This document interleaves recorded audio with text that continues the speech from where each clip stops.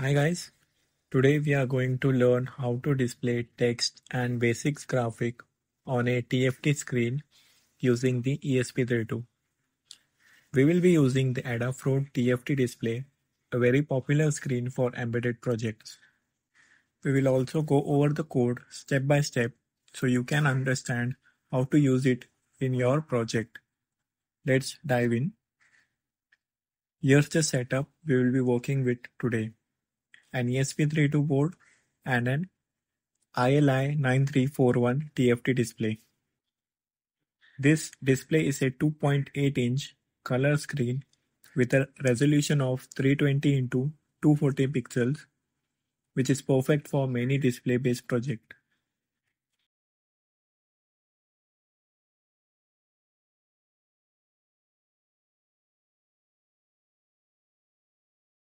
The display VCC pin is connected to 3.3 volt on ESP32 and then we have the ground connection. After that the CS pin is connected to pin number 5. RST reset pin connected to pin 4. Then the D slash C is connected to pin 16. After that the MOSI pin is connected to pin 23. Clock pin is connected to pin 18. And finally we have the MISO pin connected to pin 19 of the ESP32.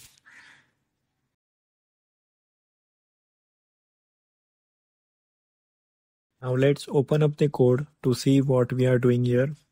First we will start by importing the necessary libraries.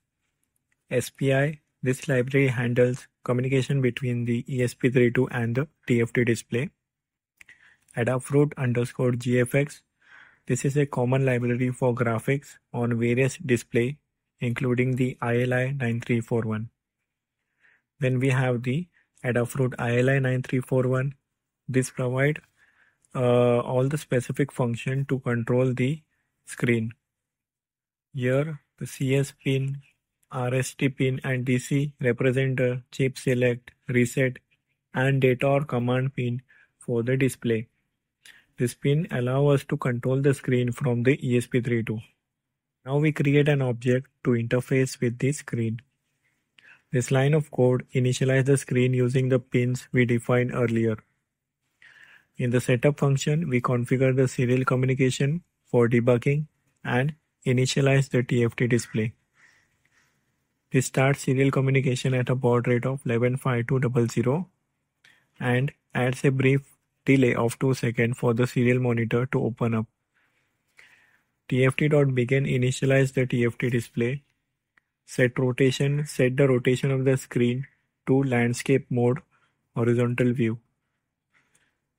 Fill screen fills the entire screen with a white background color. Now let's add some text and graphic this is the header box. This create a light blue header box at the top of the screen. We set the text size to 2 and the color to white. We also position the cursor at 10, 10 and display the text ESP32 TFT display. Display static message. We draw a light green box in the middle of the screen Set the text size to 3 and display the message Hello World.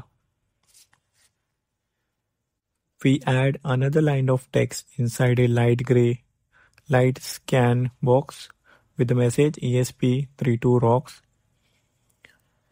Then finally we have the smaller text. This display another line of smaller text inside a light yellow box that says this is cool. We also add a simple bo black border around the screen for a neat visual effect. TFT dot draw rectangle. This draw a rectangle at the edge of the screen, which is in black color. Finally, in the loop function, we don't need to do anything because the text is static and does not change over time. That's it. Now we will uh, run the simulation and you can see the TFT display shows all of the message which uh, we used in the code.